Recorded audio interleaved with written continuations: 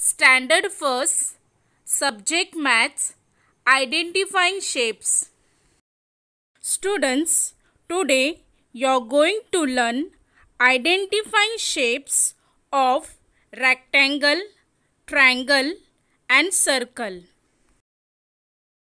Observe the shapes. Students, count the objects of rectangle shape.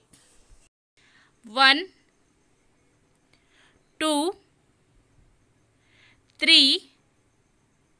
4 5 6 7 8 9 10 11 so students the object of rectangle shapes are 11 students count the object of triangle shape. 1 2 3 4 5 6 7 8 9 10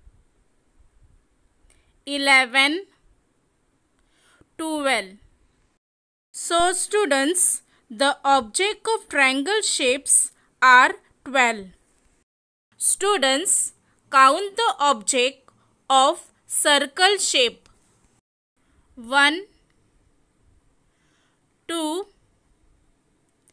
3 4 5 6 7 8 9 10 so students the object of circle shapes are 10 thank you